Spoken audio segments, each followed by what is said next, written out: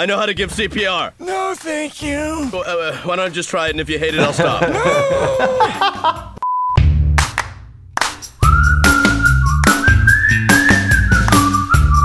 So I reacted to Bob's Burgers once already, but you guys have flooded my comment section requesting a part two. So I'm here to deliver. Bob's Burgers is an animated American sitcom that centers on the Belcher family. Despite their restaurant always walking a fine line on going out of business, their health seems to walk a fine line at times too. Last time, their medical situations were hilarious. Can't wait to see what we're in for today. But before we get into it, my name is Dr. Jordan Wagner. I'm an ER doc that deals with every medical situation that you could think of. I created this channel to answer the medical questions that I get from people every single day. If you find this video helpful, please smack the subscribe button and turn your bell notifications on.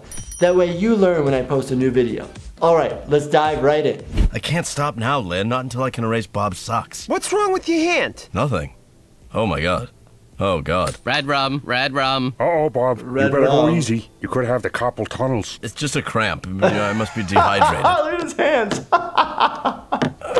Carpal tunnel has to do with basically a tunnel that's formed in our hand, and there's basically something called a retinaculum. People get carpal tunnel surgery where they basically snip that retinaculum and open it up so you get pressure off the nerve, and then hopefully your symptoms go away. This can't happen now. Oh, no. Maybe I should see a doctor. Good. Otherwise, I might have to stop playing. Ah. Please tell me they shoot webs. Are we finally getting a falcon? I love it. flattering, like wrist corsets. The doctor said with these splints and these pain pills, I should be good to go. Oh, he didn't tell you to lay off the game? No. So he's got wrist splints on there, so he probably was diagnosed potentially with like carpal tunnel. These wrist splints get you into a relaxed position to try to decrease inflammation, and he's probably taking medication having to do with inflammation. Whenever you lie, your eyes get crossed a little. The doctor said the last thing. Look, they're you want- crossing. I'll just shut him. Ready? he said the last thing you want to do is stop playing. You're so full of it. All right, exactly. Unless the doctor's a gamer, and that's why he says keep at it. You are ruining our perfect day right now. Oh my god, am I your hero? Oh, oh damn it. Fun hurts my lungs. We're stuck up here. This was a stupid idea. He's having trouble breathing. Okay.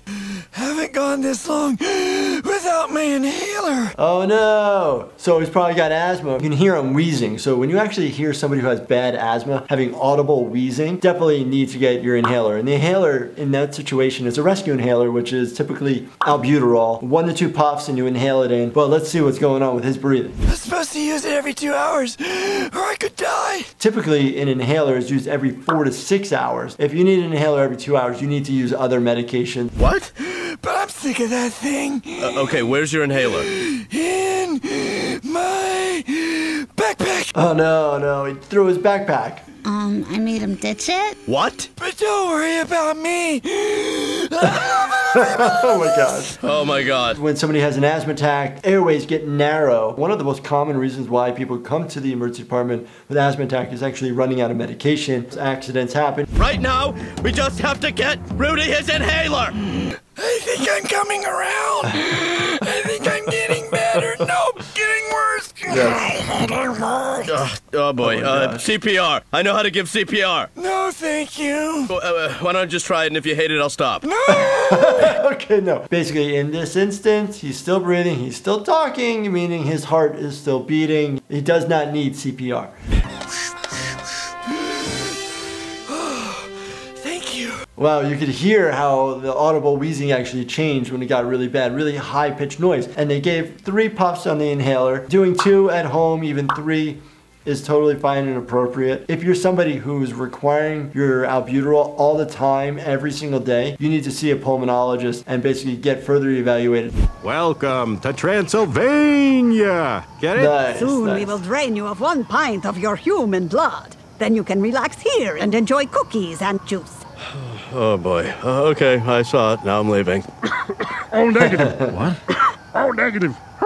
oh, neg? Really? Oh, well, well, well. Oh, there you go. That's hilarious. O negative blood. That's like the universal donor. We need that kind of blood. It can just be given to anybody, no matter what their blood type is, especially in an emergency situation. Think about donating if you're able to. Not every day we get to suck a universal blood donor's blood. Oh, there you go. I'm not donating blood. Uh, seriously? Your own egg, but you're not gonna donate? Hey, just think of how happy you could make someone. Hey, mister, you saved my life, and now I'm gonna go out and save the rainforest. Fine, I'll donate my. I love it. Okay, we're all set. Now it's time for. Hey, that's an amazing Oh, Big you go. Bird costume. You felt that? yes! But I distracted you. I like the attempt of distraction. That's pretty good, but you still need to make somebody aware that you're going to do it. My arm still feels it when you shove a needle in it. Oh boy. Uh, what? Ah, it looks like I didn't find a vein. That's the worst. I stick a needle in like the big major blood vessels that I can see like with an ultrasound, which is a lot easier than a peripheral IV. What? Hey, uh, look at that uh, Star Wars costume. Space, am I right? Wow! Did you get it? No, no, no, not in. Your veins roll away from the needle. Oh, oh, oh, oh. Sometimes people's veins are fragile for different reasons. Sometimes people's veins roll for different reasons, meaning they move out of the way. And if you're somebody who knows that they have bad veins, basically what you can do is hydrate really, really well. That way it at least increases your blood plasma level. Let's try the other arm. Okay, really make a fist this time. Hey, oh, look, there. So he can't just randomly just be stabbing. Again, this needs to be kind of clean and sterile, right? So you need to be using skin cleaning agents because our skin is covered in bacteria. Even if we're clean, we can cause you to get an infection. You said you were very good with needle weenies. You're the worst weenie I've ever had. Needle weenies. Hello? Oh, man. I, I, I think I'm all done. Oh, he's done. Nice. At least they got a line in him. It's gonna take all my blood. I gotta get out of here.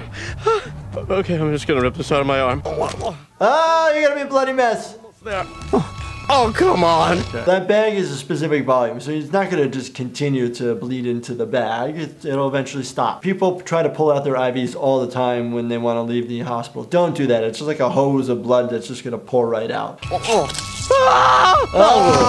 There it is. So in that situation, if you ever feel like you're gonna faint, best thing I always tell all my patients, sit down. And then even if you still feel lightheaded at that point, lay down flat. If you do pass out, you're closer to the ground and you're not gonna cause yourself injury. And the other thing I'm gonna tell you about people passing out, don't try to get right back up after you pass out, because you're gonna pass out again.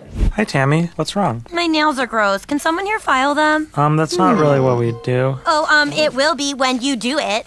I noticed you're scratching your head. yeah, maybe I'm trying to think of something. Now I'm wearing a hat. Oh no! Oh no! I bet they're all got lice now. Oh no. It could be. Oh my god, yes! Head lice. Oh no! You're all Yeah, exposed! lice. We're in quarantine, people! Head lice. Literally, they're flies that are like buried in the hair. It's really easily treated. There's like shampoos that you can use. They kill them and you comb it out.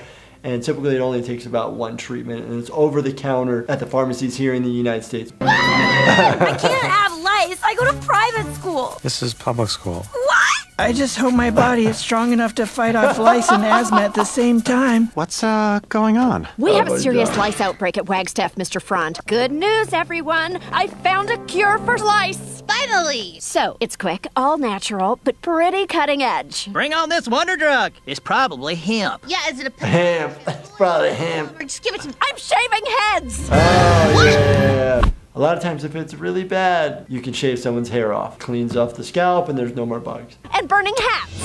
No! Oh no! Right here, plug it Poor right into the wall. Ah! Ah! No, you. Oh no! Let's talk again about who's getting shaved and Oh, she's gonna do it. Bam! No joke, don't mess with the school nurse. Really not liking this plan. I have information. Tammy, That was a good try though. but she doesn't have lice. She has dandruff! Look at it! No way. Dandruff, yes, dry scalp. There's different treatments for that. Usually it's a fungus that's causing that, or just dry skin, but usually it's a fungus, and you can use Selsun Blue, Neutrogena, all these different types. But why are we all scratching? Dandruff's not contagious. It's psychosomatic. It's psychosomatic. Our brains are making us have the symptoms. We get this a lot of times people have different things called somatization, basically where they think they have the symptoms of something and they actually manifest them. The power of suggestion. Just say the word lice and everyone itches their heads. Nurse Liz, please read from this medical encyclopedia the marked passage how dandruff is often misdiagnosed as lice. You can't read it because you don't have your glasses. What's what are you trying to say, Antonio? Oh man, so she shaved her head for no reason. It's horrible. The hair will grow back. Anyways, I really like Bob's Burgers. This is a really funny show. I really hope that I get to do more react videos to this. Do you have a favorite show that features medical situations that you want me to react to? Let me know which show or episodes in the comments below, or if I missed any Bob's Burgers medical scenes that I should include in another video. And if you want to see me react to video games, check me out on the Experts React series on Gamology. As always, make sure you subscribe if you want to see more fun videos like this one. Thank you so much for watching and stay healthy, my friends.